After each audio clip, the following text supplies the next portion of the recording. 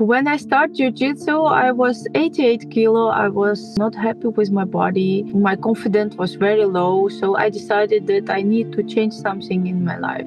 And I was looking uh, always at jiu-jitsu classes, like what they're doing there, like hugging all the time. So after some time, my professor come and asked me if I would like to try jiu-jitsu. I said uh, I don't like when people touch me, and it's a lot of contact with a stranger so I don't think it's it's mine. He said, just come and try a few times and you will see. So after um, I try a few classes of jiu-jitsu, I fall in love with this sport and I train every single day. At the moment when I stop on the mat, I forget about everything. In my head is so quiet. In my opinion, every woman needs this for self-defense. So if somebody will attack you, you can always uh, defend yourself and run away. I lost already 20 kilo. I found new friends. I get a huge support from my team. My academy is my second home. I'm happy.